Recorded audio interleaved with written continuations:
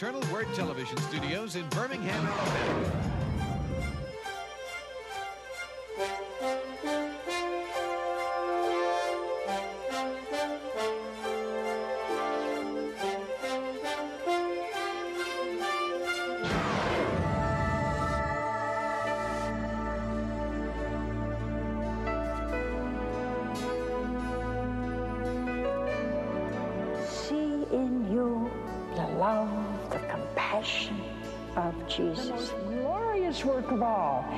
Praise God in His kingdom. Moved by the Spirit, one who lives in love lives in God, and God lives in him.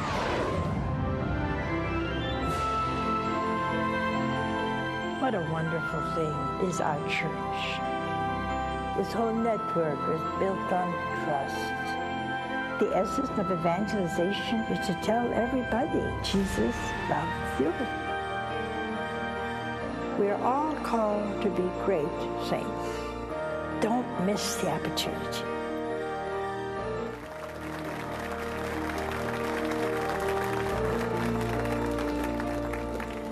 Well, good evening. We just have a wonderful, wonderful group of family here tonight, and it's always exciting for me because you know when you talk to a camera, you just don't know who's on the other side.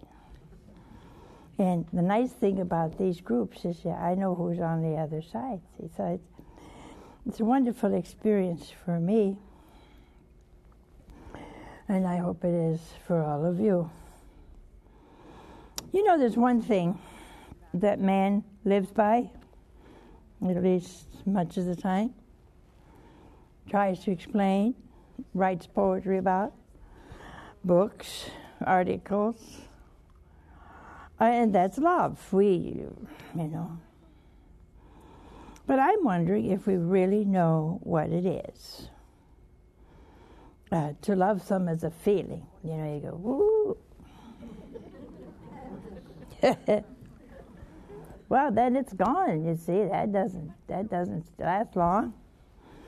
And some, their eyes get all glassy, and and uh, you say, "Whoa," you know. And uh, some feel that it's a, a feeling, and it is.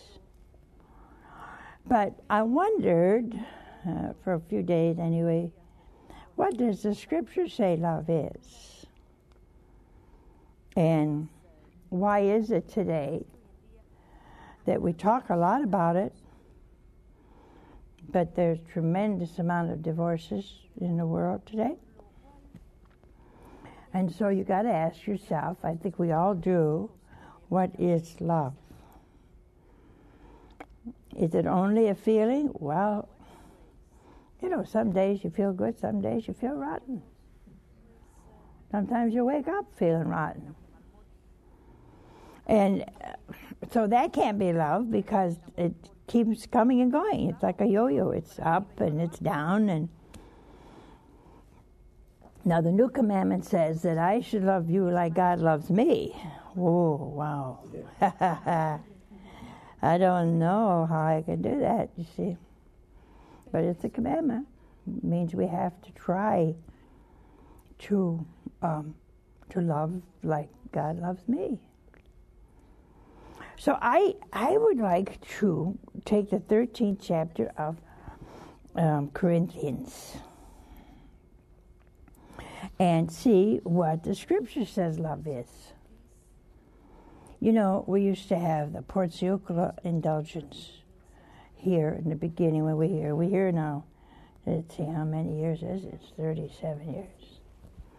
We're considered Southerners now after 37 years. I haven't got the accent yet, but uh, I have to work on it. Um, so this indulgence, people came in as many times as they wanted and said six Our Fathers, Hail Marys, and Glorious. And we had hundreds of people here. And we were out at the time, and I, my ears start hurting from la- from smiling so much all day. I smiled at everybody. I shook hands with everybody. They went in and out, and I went too. And by the nighttime, my ears were hurt. And they were hurting because if I smile, my ears go backwards.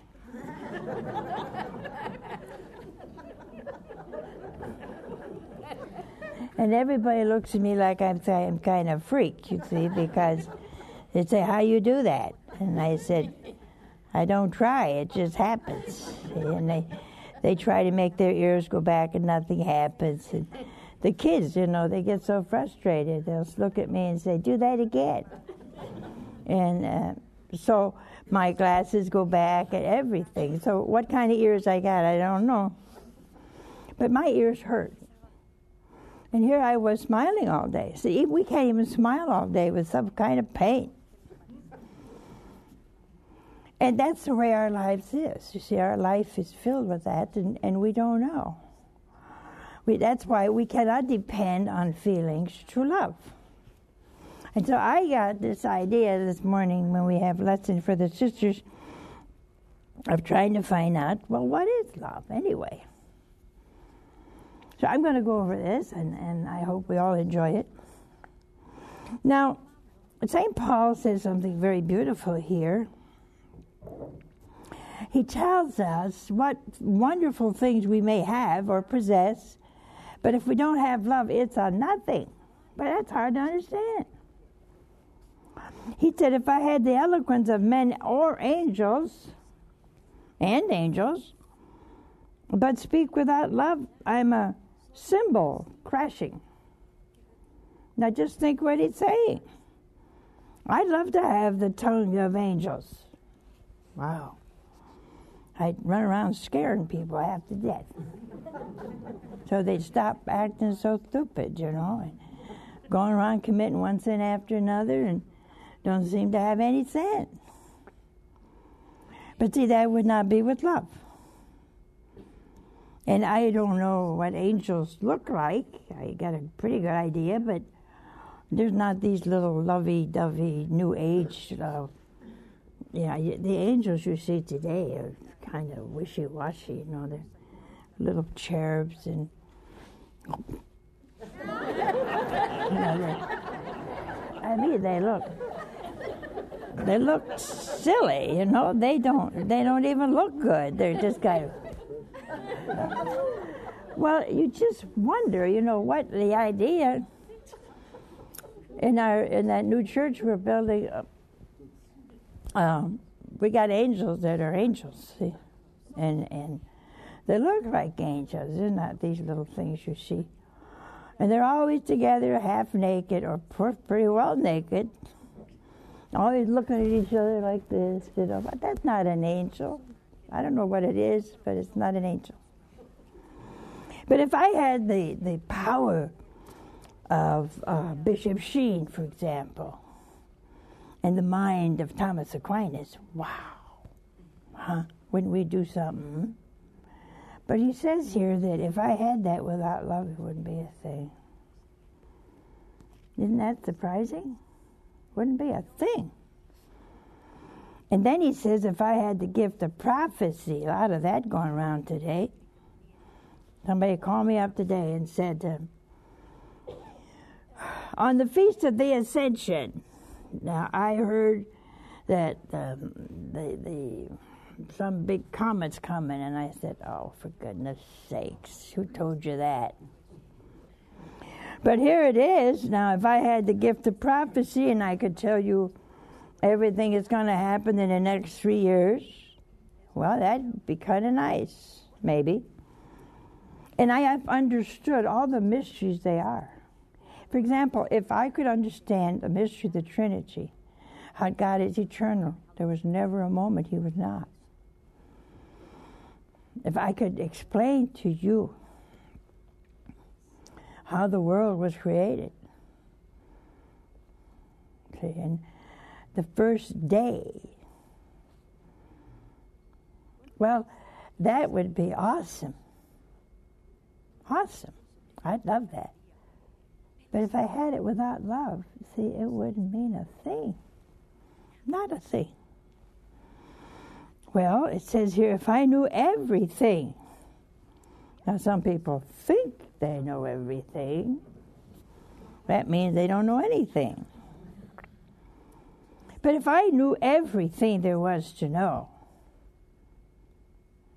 for example, uh, I have to go through this book page by page by page by page. And then I retain some, some I forget. An angel could go like this, boom, he's got the whole thing. and that make you feel dumb. But see, if I could do that, but I didn't have any love, it wouldn't mean a thing. See? Mm. If I had the faith in all its fullness, it could move a mountain. But without love, I'm nothing. Reminds me of that old lady who lived at the bottom of a mountain in the valley, and she didn't like the mountain. She couldn't see the sunrise. By the time she ran up the mountain, it was already risen. And so she always got mad every morning. So she's reading the scriptures, and she read this passage, and she thought, uh huh, I can move it. If I had faith, the Lord said I'd move this mountain. Then I don't have to worry about running up uh, trying to catch the sun every morning. And so she did. She prayed and prayed and went to bed in peace. And she got up early in the morning, there was the mountain. She looked out the window and she said, That's what I thought. she didn't have any faith, you see. But if I had the faith that I could say to this little daddy mountain right behind us here, I'd say, Move. Would scare you to death, wouldn't it? Scare me to death, too. I'd be the first one running. But you see, if I did that, though, without love, it wouldn't mean a thing. Not a thing. In fact, St. Paul says here, it would be nothing. Hmm. Now, if I gave away all I possess piece by piece, that's, that's a lot. But I didn't do it for love. It's nothing. And this is one of the things that it got me. It said, if I take, let them take my body to burn it. You know, there's nothing worse than a burn. You burn yourself in an oven uh, uh, with a match or whatever, and it's so painful. Like these little paper, you know, you lick a, an envelope. You shouldn't lick it anyway, but we do and you, you cut your tongue on paper. Paper cuts are so painful, little things like that. But see, if I did that without love, it's nothing. So you got to ask yourself, okay, now I've had all these things and I didn't love. Well, what is love? Well, let me read what St. Paul says here. Huh? He said, Love is always patient and kind. And I'm 70, I'll be 76 in April. I've told you, but I'm going to tell you again. It's April 20th, in case you want to send me a card or something. but if on that day I, I did not love, see, I wasn't grateful, and I didn't love from my heart, it being 76 is absolutely nothing. Nothing. You could say, well, you got a lot of experience. Yeah, a little bit. You know, yeah, but see, none of that would mean anything either. Love makes the difference because it is willing to sacrifice. That's why there's so many divorces today. There's no spirit of sacrifice and love for better or worse. And here's what love is love is never jealous. Never. You know what jealousy is? Jealousy, I think, was the first sin. Everybody thinks Satan was proud. No, I think he was jealous and then he was proud. That's my opinion. You're not going to find it in the scriptures anywhere. But I think because he was jealous of God's position. He was jealous of the eternal Word becoming man. He was jealous of the fact he would have to worship his mother. And he said, I shall ascend to the throne of the Most High God. Whoa, hey, wait a minute. It, it wasn't, I don't think it was pride yet. It was jealousy. He was jealous of God's position, forgetting he's a creature. Today, a lot of people forget they're creatures of God. They're not God. You see these ads in these crazy magazines. I don't know if you get crazy magazines. I get them by the dozen every day. It's one magazine is feel like God and be God. I looked at it, I said, she had to weigh, this goddess, whatever she was, at least 500 pounds. I never did see the chair she was sitting on.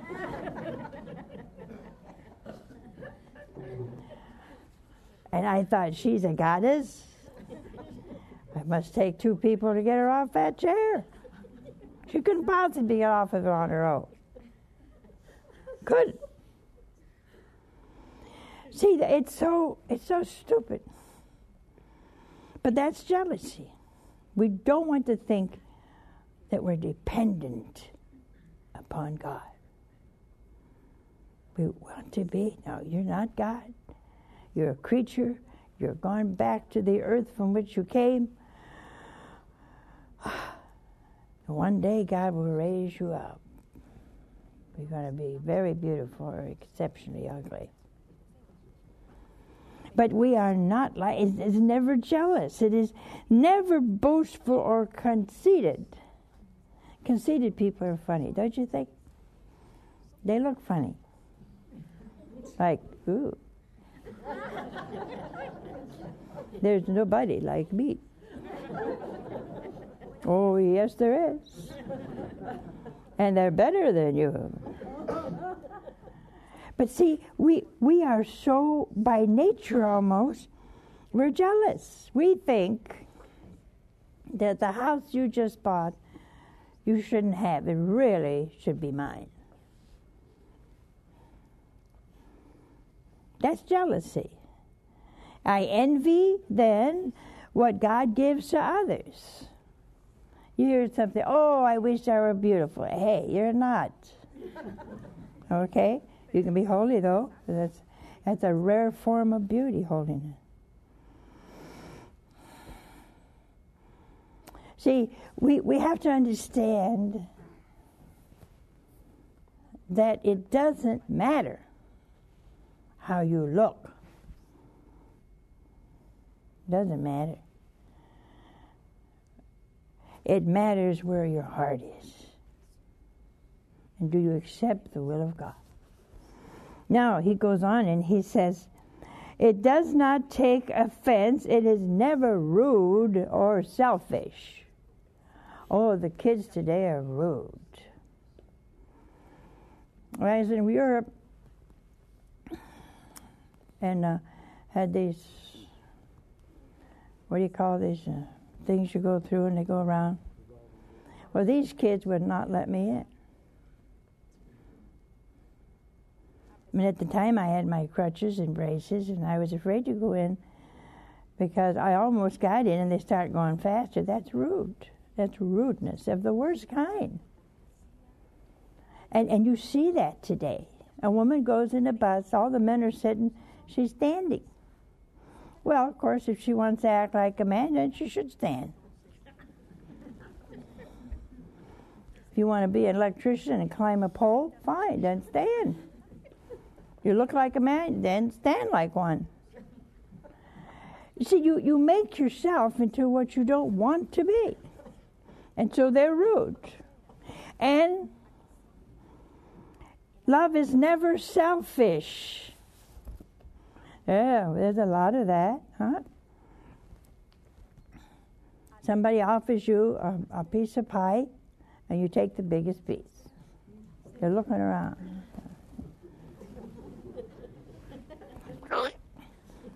It's the biggest piece. It's almost a quarter of the pie.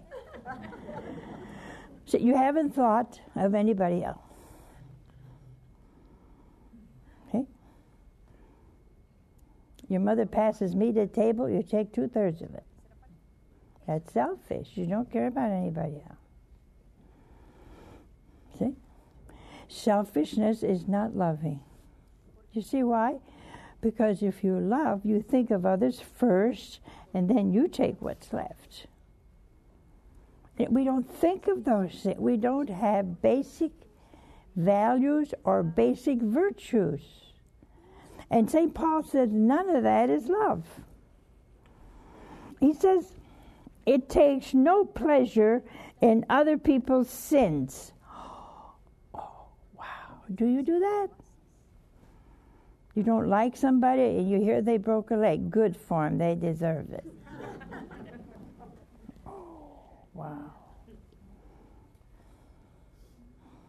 I told you about the woman whose husband was terrible. He stepped out on her. He went all there. I mean, he did everything a man could do. He's in the hospital a couple of weeks. The priest comes here. She's confession, baptizes him. He was never baptized. He gets the last sacraments. He's confirmed, and he dies. Well, was she mad? she was furious. So I, I, said to her, she came and told me all these good things that happened to her husband. I said, Wasn't that wonderful? She said, No. She said, You realize, she's looking at me, she realized you could have gone straight to heaven. I said, Yeah.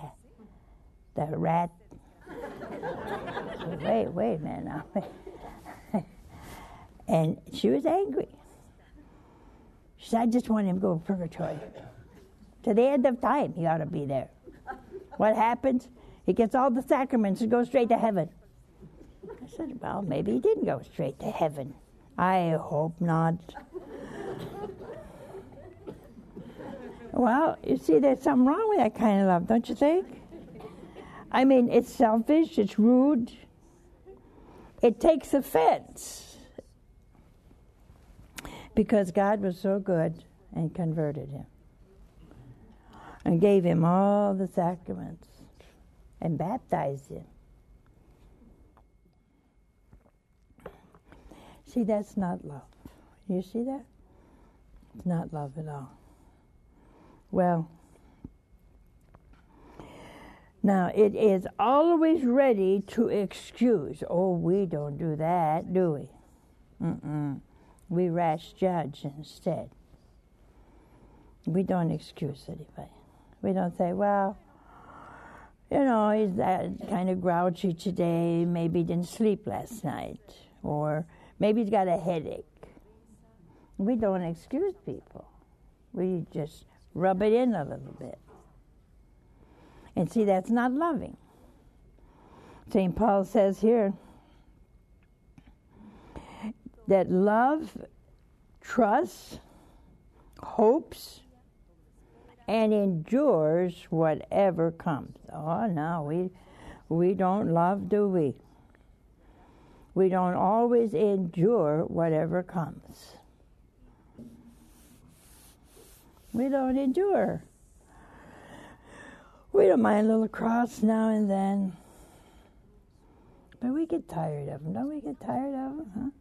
What makes you disheartened so much? Just because a doctor comes along and says, well, we just can't seem to do anything for that back of yours. And you say, well, you mean I'm going to have this pain a long time, And so I'm afraid so. And what do we do then? The love endures and says, well, Lord, give me strength, give me energy, give me love. Okay? Now, he says, Love does not come to an end. Now, that's a good examination of conscience for Lent. How many people have you loved? How many friends have you loved and you don't love them anymore? Now, if I have to love like God loves, and that's the new commandment, I got to love you always. Never stopping. No matter what you do. And that's what St. Paul says here. If there are gifts of prophecy, the time will come and they're going to fail. If you have the gift of languages, it won't continue forever. The time will come when all must fail. I've said this a hundred times that you buy a car, you drive it home, drive it back, you lost a thousand dollars. Can you beat that? If you brought it back, you would have lost a thousand dollars. It's nothing. You know what I like to see? It's a real meditation for me. You see these big flatbed trucks on the highway, and they're piled with car after car. All the cars are about um, this big. They've all been. Now, can you imagine those in a nice window, sharp, shiny, and you paid fifty thousand dollars for it, or twenty? Now look at it, rusted, squashed, to be melted over for somebody else to pay twenty, thirty thousand dollars for. Where is it now? You know, some of you kids put your heart in that little car or big car. And that's good. It's a convenience. You can drive around, go where you want to go. But the heart cannot be there. Because it's, go- I guarantee it's going to be on that flatbed truck about 10 years from now. You put your heart in. Some of you have sold your soul for a car. And it's going to go. It's not going to last. Now, our knowledge is imperfect, our prophesying is imperfect, and it's all going to disappear. You say, Dad, this is a gross program. But you see, my friends, we have to understand that, otherwise, we get attached. We get attached to things that are going to pass. We have to use things. But we cannot be attached to things. That's where love comes in. The wrong kind of love. I cannot be attached to a car.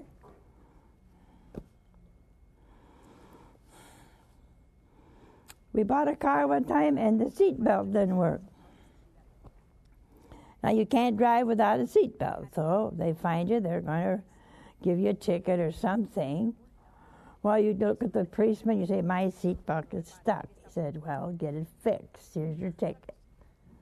Thanks a lot. you go to the man there, and he has to take part of the car apart to get his seatbelt. So you wait three days, and then here comes the car, and there's the seatbelt, all nice, shiny, and fixed. A little wrinkle here and there, but it's fixed. Three days later, you can't get it up again. Can you imagine getting frustrated over a seatbelt that refuses to move? So, what do you do? You just sit in the back.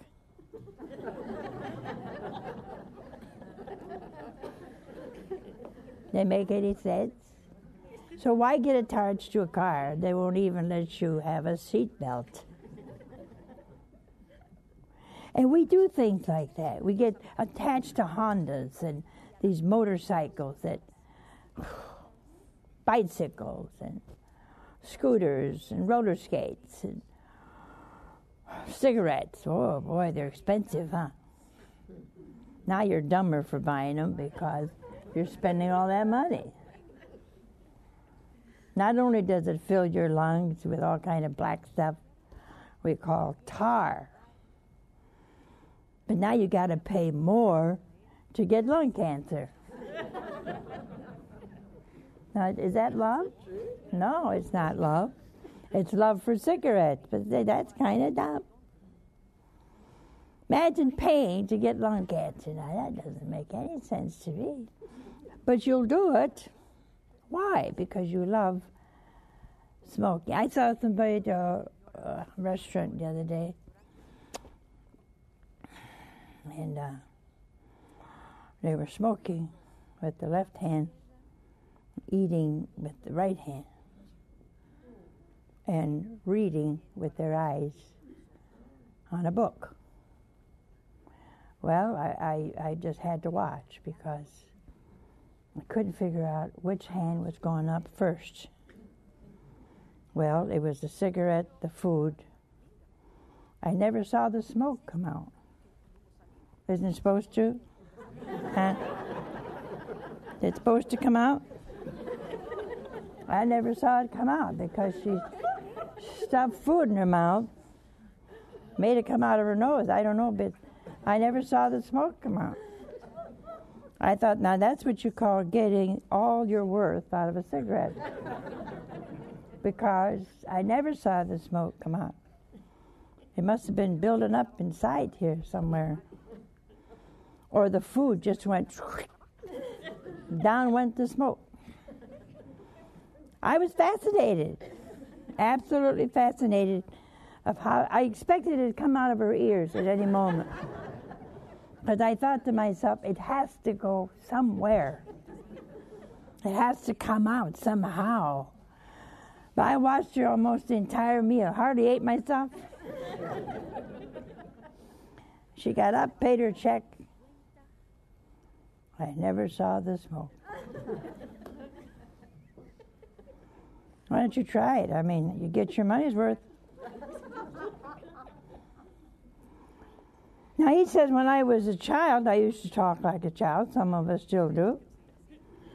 I thought like a child, but don't we? If we do that, I think we're talking and acting like a child. Argue like a child. Oh boy.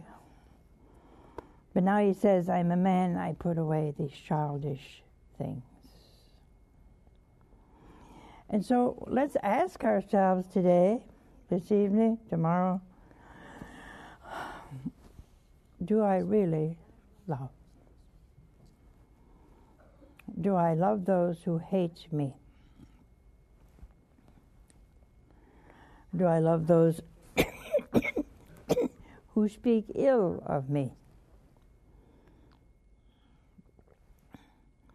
The gospel these days has been to forgive seven times, seven times a day. Oh, we forget that.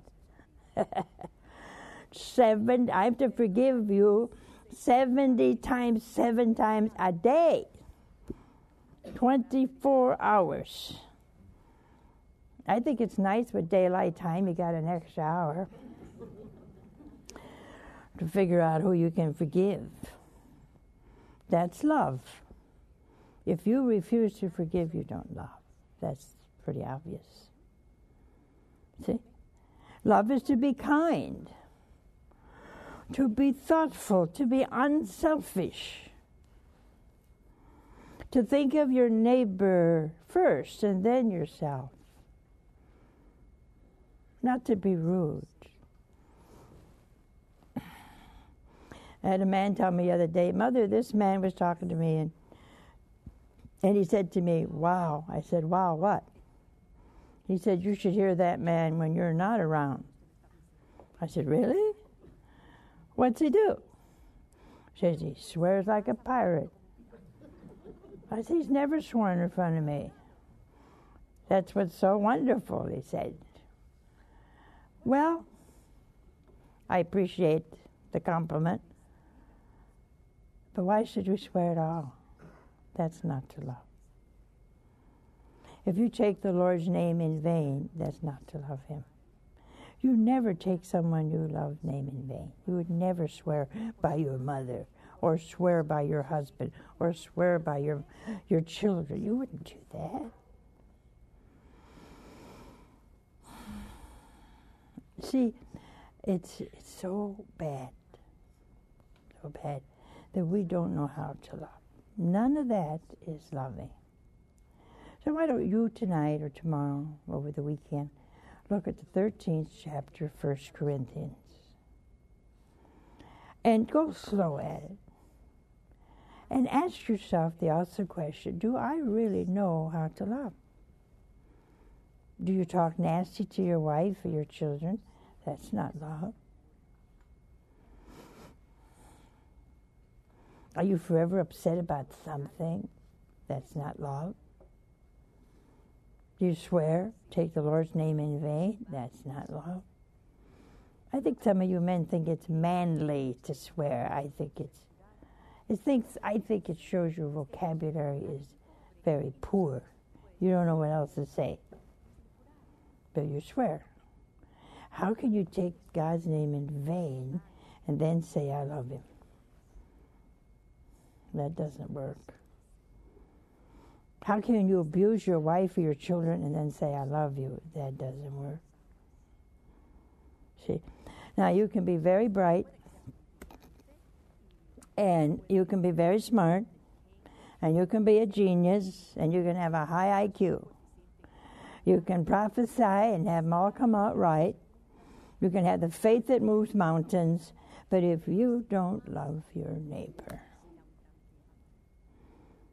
it's a big fat zilcho. That's how God looks at it. So I think it would be nice for Lent. Examine your conscience. Do you really love your wife? Do you really love your husband? Or do you wish every morning they'd break a leg? You don't love then, see? You, you don't love. So, we have some calls. Hello? Hi, Mother. Hi, actually, where are you from? I'm your first caller. Um, actually, I won a hundred dollars at bingo, and I'm donating ten dollars to your network.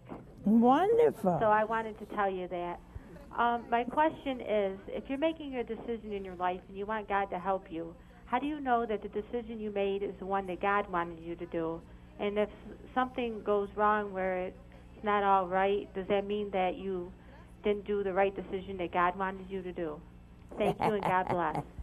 Boy, that's a $65 question, isn't it? Well, let me say this. When we pray, we first have to ask our dear Lord that we know His will. You see? Before God's will is done, we should know what it is, and He will let us know. And we can tell if what I'm going to do or the decision I'm going to make is it for the honor and glory of God? Is for the good of my family? Is it for my good? If we can say yes to all those, and I feel comfortable with it, I feel comfortable with it, then I can I can do whatever it is I think I should be doing. And if you say, well, it doesn't go well, you know, I don't think every time we pray we should expect everything to go well.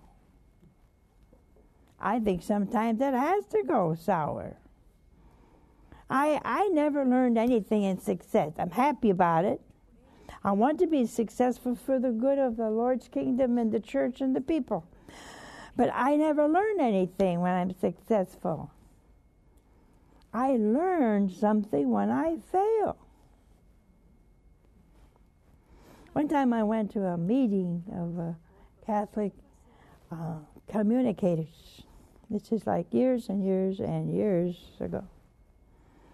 And I was asked to give a talk on how we started and all. And, and somebody said to me, Mother, what happens if you fail? I said, I don't. I'm not afraid to fail. Because I've always learned something when I failed. I said, I'll tell you what I'm afraid of. I'm afraid of success. Though I need to succeed. Because many people change when they're successful. You all know people that change. They get snooty and and they get smart aleck and they get proud and arrogant and you got to be strong to be successful and keep keep your hand on the plow. And I said to them, I'll tell you what I'm afraid of. I'm afraid of dying.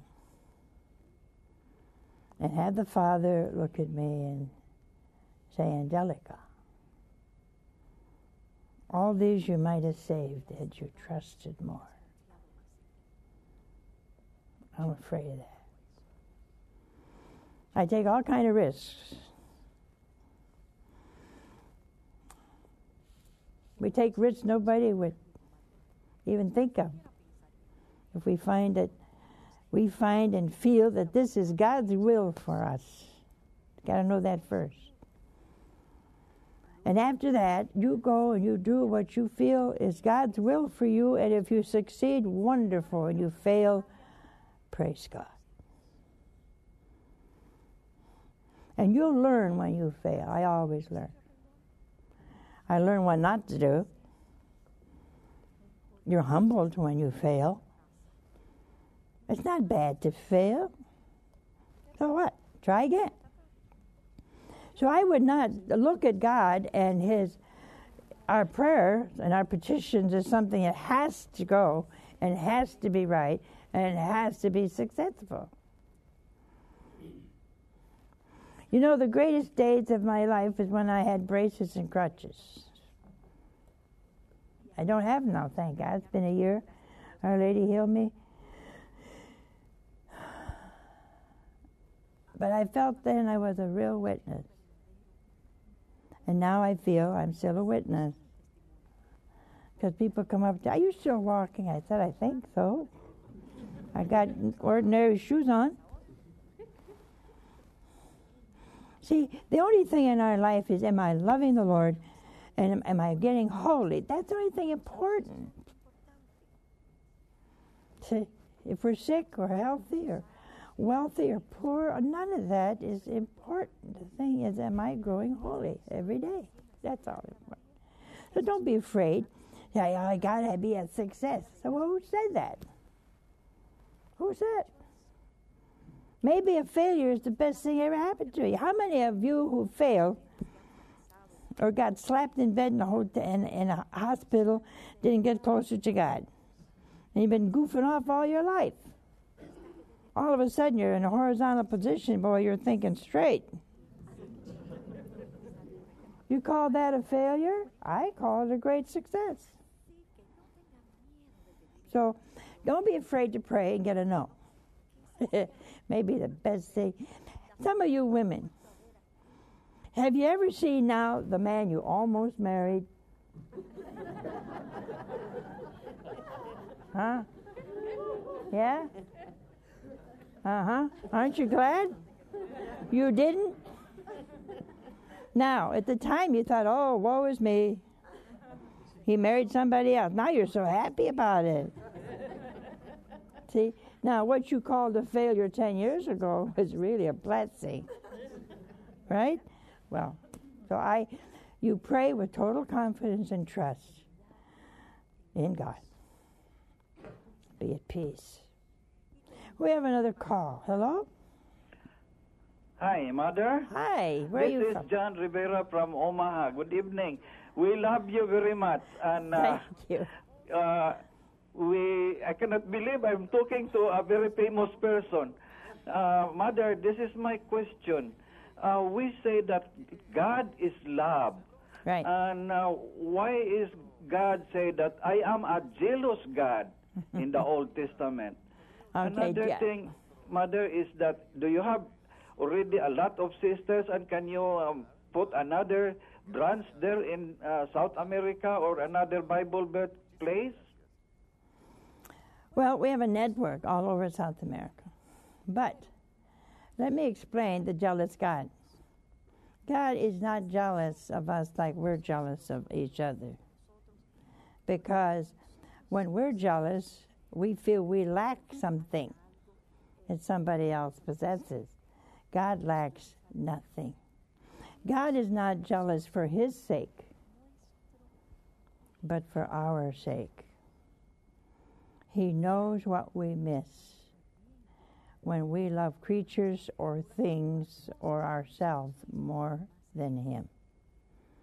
It's a compassion that God has for us. That God loves me with an infinite love, and He knows what I'm going to miss if I turn against Him. And he feels very bad about that. That's the kind of jealousy God possesses. Our jealousy is mean, judgmental, angry, and covetous. Oh, that's a big difference. God cannot be any of those things. God is love. And He knows what we're going to suffer if we don't love Him with our whole heart, mind, soul, and strength. And the scripture says, I am a jealous God. Well, it's not the kind we have. The kind we have is sinful. And God is holy and pure and totally without sin. He cannot sin because the Holy One. See? So you have to understand that our dear Lord is grieved when we turn against Him because He knows how much we will suffer.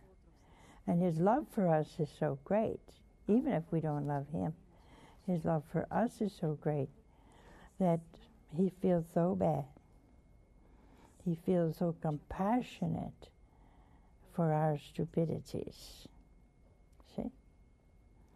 And so we need to know that our first love is always our love of God.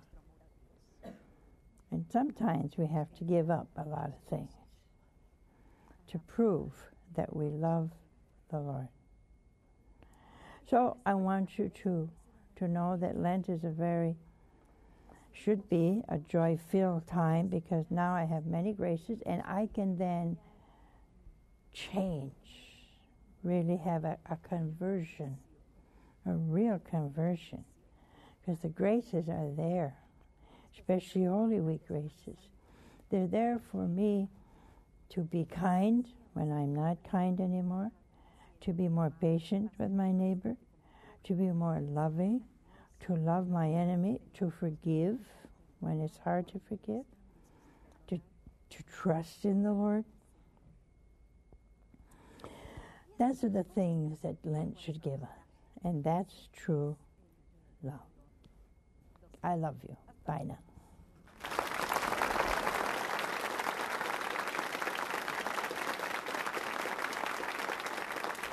Música